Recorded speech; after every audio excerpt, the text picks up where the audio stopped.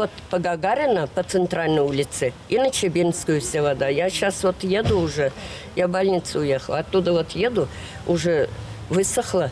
На Чебинскую вся вода ушла. Буквально пару часов назад воды здесь было так много, что она даже утекала за пределы двора. А все потому, что прорвало водовод. Жильцы ближайших домов говорят, что это уже не в первый раз. Неужели нельзя один раз элементарно по-человечески сделать, чтобы вот каждый раз такого не случалось? Но есть и те, кто рад образовавшимся во дворах лужам. Это голуби. Устроив водные процедуры, они спасаются от жары. А рабочие водоканала уже побывали на месте происшествия. Почему вновь прорвало трубу, говорить они отказались, сославшись на обеденное время. Зато пресс-служба водоканала рассказала, какие работы ведутся на месте.